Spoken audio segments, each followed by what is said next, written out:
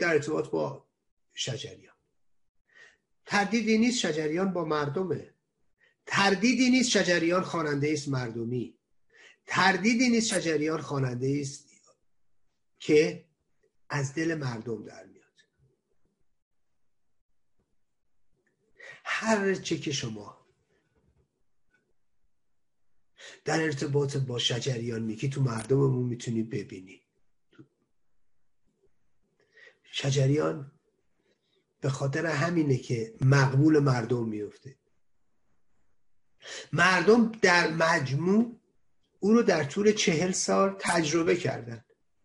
یه موقع است ممکنه من در یه فرصت کوتاهی توی صحنه حاضر میشم یا توی صحنه در واقع فعال میشم. خب در کوتاه مدت ممکنه مورد اقبال واقع بشم. اصلا محبوب بشم. ولی در دراز مدت چی؟ خیلی چهره سیاسی رو شما می‌تونید ببینید. که در کوتاه مدت مورد اقبال عمومی بودن. شما خمینی رو نگاه کنید. خمینی مورد اقبال عمومی نبود معلومه که بود. امروز چی؟ مورد لعن و نفرین مردم ایرانه. یا یک انتخابات آزاد باشه وقت بهتون خواهم گفت چه خمینی در کجا قرار داره؟ نمیگم اصلا سینه چاک نداره. حماقت بگید. یه درصد باشه. نه اینجوری نیست. بیشتر از این حرف هست. به مراتب بیشتر از این حرف هست. ولی کن بایست این رو توجه کرد که خمینی در ماه بود به چاه اومد. در یک فاصله کوتاه. تازه اویی که با جان و دل و زمیر مردم با, با باورهای و اعتقادشون با باورهاشون و یک ریشه 1400 ساله تو این کشور دیدید به چه ترتیبی از ماه به چاه اومد؟ تو چهرهای سیاسی هم می‌تونید ببینید. رهبران دستجات و گروه های سیاسی رو می‌تونید ببینید. پس شجریانی که چهل و چند سال لاقل در بالاترین سطح جامعه حضور داره. خب شجریان معلومه پنجاه بیش از پنجاه سال سابقه هنری داره در آوازخانی داره در کشور ما. حالا تو رادیو تلویزیون و و و. منتها باید این رو توجه داشته باشید از دهه چهلی که او در رادیو می‌خونه تا میاد نواراش بیرون تو دهه پنجاه و بیشتر معروف میشه ببینید یا به خصوص حضور او در صحنه عمومی که بیشتر بعد از انقلاب بوده.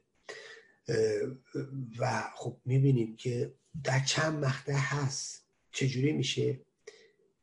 ببینید به چه دلیل او میمونه؟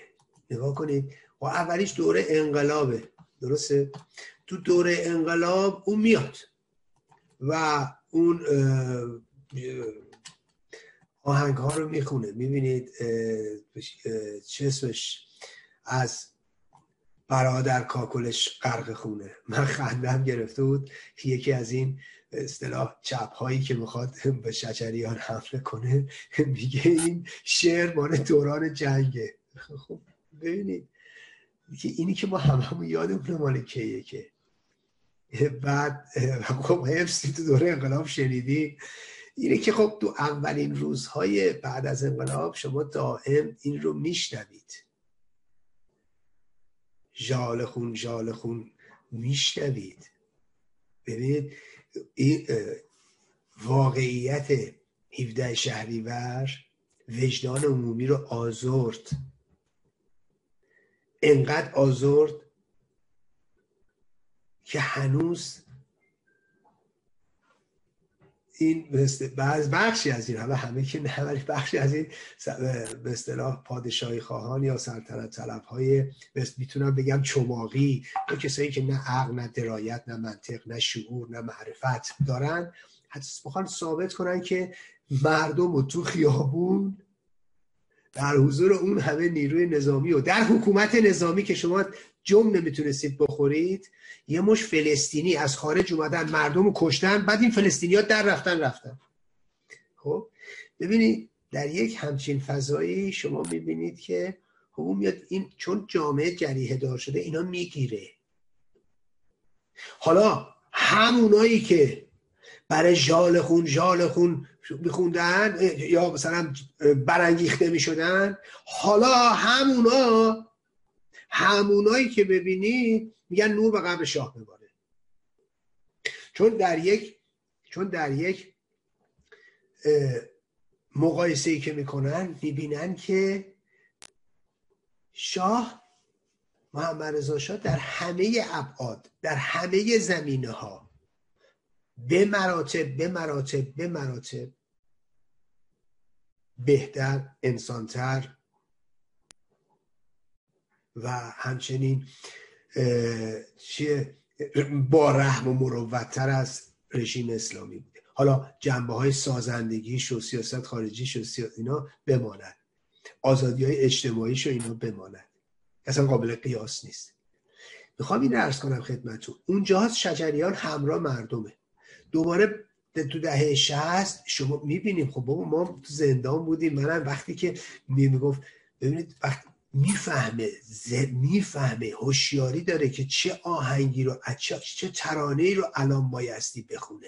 ببینید اینا رو اینا رو یک نوع درک یه نوع شعور یه نوع چجوری بگم خدمتون به سادگی هم به دست نمیاد. یعنی نمی‌فهمه که مثلا شما چی رو باید بخونی شعرهای حافظی که انتخاب می‌کنه کاملا آگاهانه است. بس به شرایط روزه وقتی میگه آب حیوان تیرگون شد خزر فرخ بی کجاست؟ ببینید این می‌فهمه چی رو داره میگه. میگه خون چکید از شاخ گل ابر بهاران را چه شد؟ می‌فهمه چی داره می‌خونه. تو ببینید تو سیاهترین دوران تو سیاهترین دوران رژیم داره اینا رو می‌خونه ها. تو دهه شسته از در و دیوار خون میبارید. میگه شهر یاران بود و خاک مهربانان این دیار. ببینید این اینو می‌فهمه می‌خونه ها. مهربانی کیسر آمد؟ شهر یاران را چه شد؟ ببینید ایناست که یا میگه صد هزاران گل شکفت و بانگ مرغی برنخواست اندلیبان را چه پیش آمد؟ هزاران را چه شد؟ ببینید این انتخابه که شما می‌فهمید که او کجا ایستاده. می‌تونست خیلی اش... می‌تونست یه شعر عاشقانه حافظ رو بخونه. عاشقانه های حافظ رو هم خونده خب؟ ولی اونجا وقتی اینو داره می‌خونه یه نوع صدای اعتراضه. می‌دونید یا وقتی حتی وقتی حتی دوباره البته زیباترین کارهای شجریان با پرویز مشکاتیان ها زندیات مشکاتیانه. یا وقتی میگه روز وصل دوستداران یاد باد.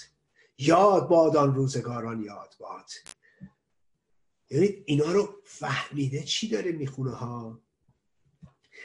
کام کام کامم از تلخی غم چون زهر گشت. یعنی اینو می‌فهمه چی داره می‌خونه ها؟ بانگ نوش شادخاران یاد باد. اینا رو ببینید این چیزایی نیست که شما همینجوری انتخاب کرده باشید. یعنی باید یه پس زمینه داشته باشید تا اینا